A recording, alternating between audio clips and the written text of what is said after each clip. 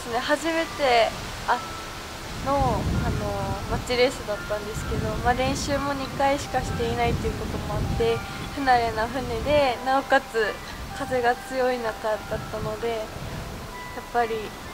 乗り慣れてる学校との差が すごく現れたなと思いました。やっぱりこういろんな大学とこう練習練習じゃないですけどレースを繰り返してるうちにみんなこう要領とかも分かってきたりその強風のパワーの逃がし方とかも少しずつ慣れたなっていうのはありました。そうですね。歴代の先輩が4位と5位で終わっているので、まあ、4位以上は狙っていきたいなと思います。頑張ってください。はい。ありがとうございます。やっぱりチームワークが大切でぱ練習を重ねている大学のこの動作とかスタートとかに全くついていけなくてなおかつ今日は風が強かったので面を全然引き込んでこれなかったので明日はちょっと B フルでもうちょっと順位を上げたいと思います。やっぱり 4, 4年生全員で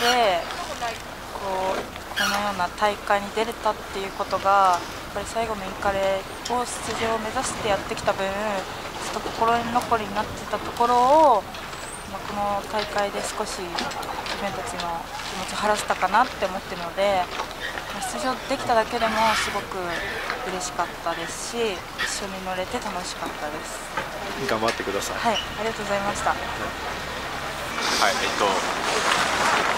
手強くて全然かないませんでした今日はスピンが上げれれば僕らのアドバンテージかなと思ってたんですけどそれもスピンもなくてちょっ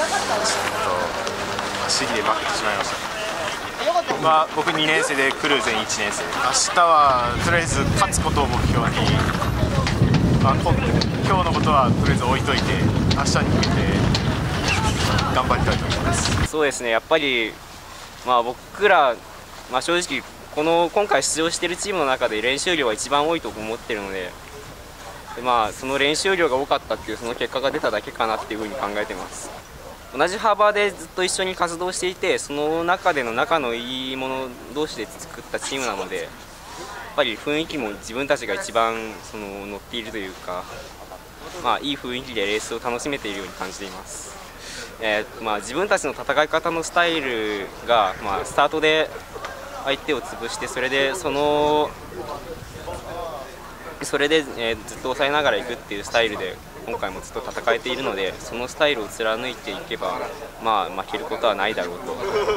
思っているので。しっかり全部重ねていきたいです。あの引退、えー、昨年の11月で引退した、えー、4回戦5人で出る予定だったんですけど急遽1人が出れないということで4人での出場で、結構あの風が強かったので厳しかったなっていうのがすごい印象に残りましたキールボキールボートに初めてそのレースで挑むっていうことで、えー、まだディンギーとは違った走らせ方であったりマッチレースということで特にあのルールっていうのをしっかり理解しておかないと、えー、なかなか勝てるものじゃないなっていうかなり実感したんで、